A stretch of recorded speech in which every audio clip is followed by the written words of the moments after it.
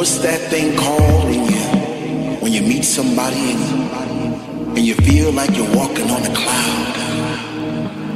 And every step you made all your life, wrong or right, led you to this place right here, right now. You know, it's like like when you were at work and, and you said to yourself, you know, I'm gonna have a good time tonight. I'm, I'm gonna go out. So you, so you put on your favorite shoes or, or you put on your favorite jeans. You get into the mood.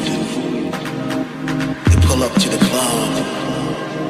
It's a long line, but, you don't care because you can get a don't, don't, don't outside those doors. And you get that feeling all over again. And you, and you get that chill up your spine because the DJ is playing your favorite songs back to back. And, and you're not in yet, but soon you know you're going to be. Oh, man, what's that feeling called again?